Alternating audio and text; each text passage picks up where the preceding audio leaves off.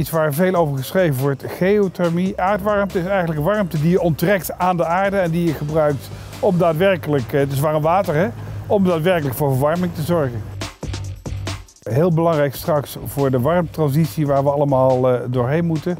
En zeker ook hier in Luttelgeest, waar je in de tuinbouw, de glastuinbouw, natuurlijk heel veel warmte nodig hebt, gaan we dat straks uit de grond halen. En voor de provincie is vooral van belang dat dat straks niet meer met aardgas gebeurt of met elektriciteit, maar dat daadwerkelijk de aardwarmte benut wordt. En het mooie is dat zo'n project, wat hartstikke ingewikkeld is, nu ook daadwerkelijk letterlijk en figuurlijk van de grond aan het komen is.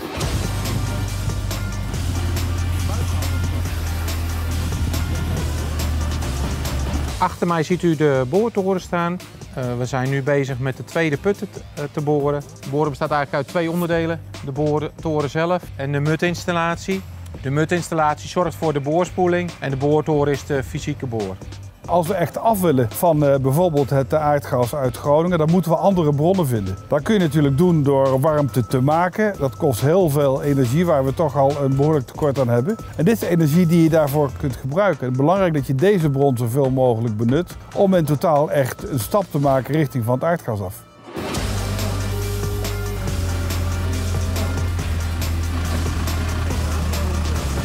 We hebben een uh, behoorlijke discussie gehad uh, over stikstof. Het is niet te geloven. We gaan hier uh, vele tonnen stikstof besparen, dus het is wat we met z'n allen willen. Maar toch door de regelgeving werden we tijdens de bouw opgehouden door de stikstof. En de provincie heeft ons hierbij ondersteund hoe we dat konden invullen en de RS-berekening zodat we toch door konden gaan met de bouw. Primair is de ondernemer die het doet en die het risico neemt en die het initiatief neemt. En als overheden kunnen we alleen proberen te helpen. Er zijn heel veel regels op het gebied van het winnen van deze aardwarmte, het mogen boren, ook daadwerkelijk eh, het uh, project kunnen starten.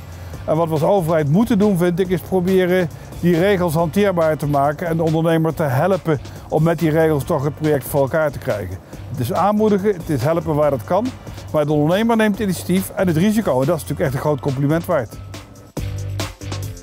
We zijn nu uh, de tweede boring aan het doen. De eerste 300 meter zit erin. Omdat de boring 1 uh, oké was, was voor ons een go or no-go moment. En nu gaan we door.